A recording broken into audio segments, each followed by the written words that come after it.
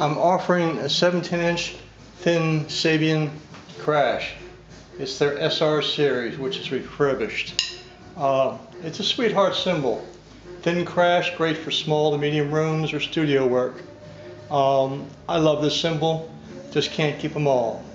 But here you go.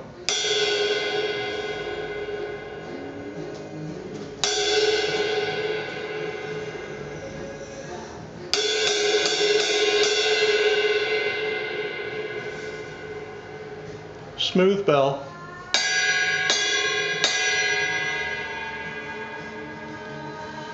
And a great crash. Quick rise and good sustain.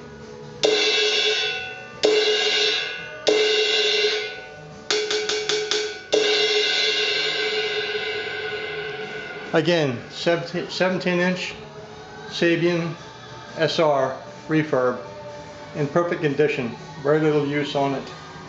Thanks for looking.